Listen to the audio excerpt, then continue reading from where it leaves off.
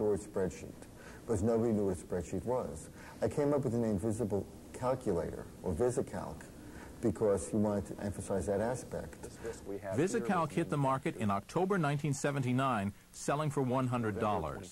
Marv Goldschmidt sold the first copies from his computer store in Bedford, Massachusetts. After a slow start, VisiCalc took off.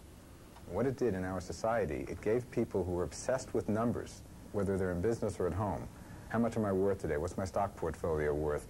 How am I doing against budget on this project? It gave them the ability to play with scenarios and change it and say, well, what if I do this? So put people, in a sense, in control of the thing that lots of people in our society feel is driving them, and that's numbers. The spreadsheet was every businessman's crystal ball. It answered all those time. The computer says so. Bucks up, 25!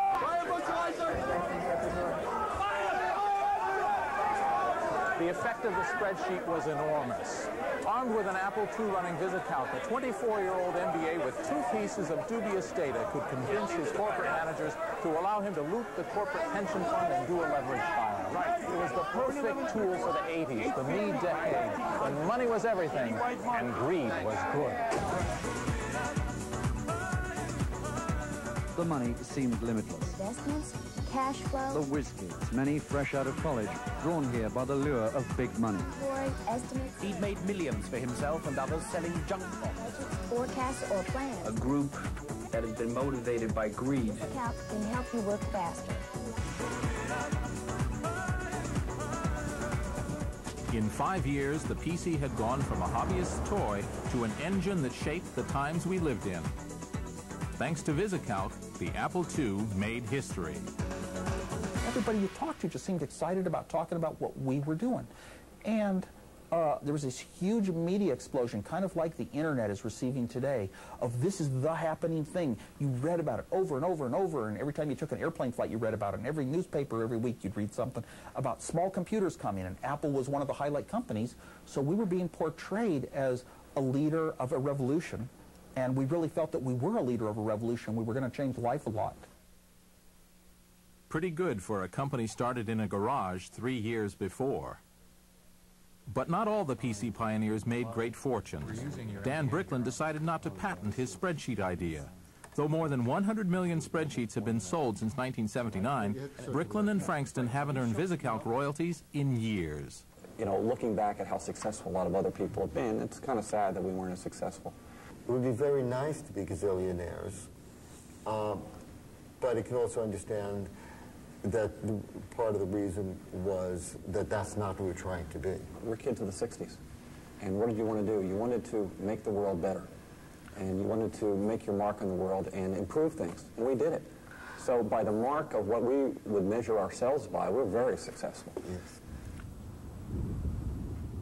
And what about Ed Roberts? Three years and 40,000 computers after assembling that first Altair, the fun was over for Ed. MITS was just another player in what had become a competitive market for personal computers. Roberts sold his company in 1978 and started a new life. When people started taking credit for things that we did at MITS, uh, and that, that's the only thing I think about. It it irritates me. The things that we did at MITS, and we took all the heat for, that other people have tried to take credit for, and uh, that frustrates me. While Ed Roberts invented the personal computer, it was the founders of Apple who got rich. When Apple went public in spectacular fashion in 1980, Jobs and Woz became multi-millionaires. The nerds had inherited the earth. I was worth um, about over a million dollars when I was 23, and over $10 million when I was 24, and over $100 million when I was 25.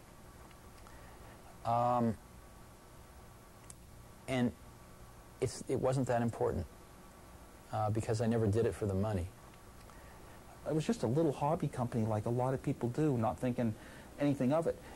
I mean, it wasn't, it wasn't like we both thought it was going to go a long ways. It was like, we'll both do it for fun. But back then, there was a short window in time where one person who could sit down and do some neat, good designs could turn them into a huge thing like the Apple II.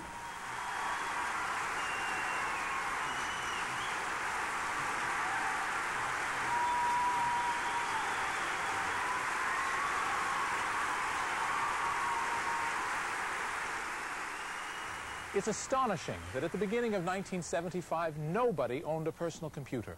All there was was a mock-up on a magazine cover. Yet within five years, there had emerged here in Silicon Valley a billion-dollar industry. An unhealthy fascination with technology on the part of a few adolescents had awakened the nerd within us all. PC companies were sprouting like mushrooms to meet the enormous demand. Apple had emerged as the top fungus and had taken 50% of the market. To the boys in Cupertino, every day seemed like Christmas. But Scrooge was around the corner. There was a company that everyone associated with the word computer, a company that expected, no, demanded to dominate its market, IBM. Big Blue was on the move, and Silicon Valley would soon be feeling the reverberations.